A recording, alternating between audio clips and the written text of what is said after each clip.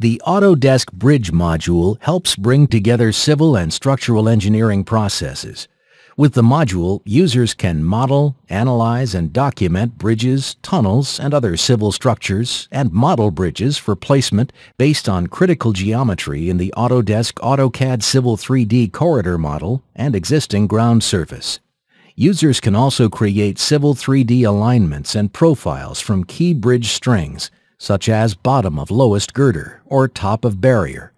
With the Bridge Design module, users can more accurately model civil structures with specific tools for modeling bridges and tunnels, including girders, abutments, piers, columns, and foundations, and more quickly transition bridge parameters created in Civil 3D to Autodesk Revit Structure for additional modeling.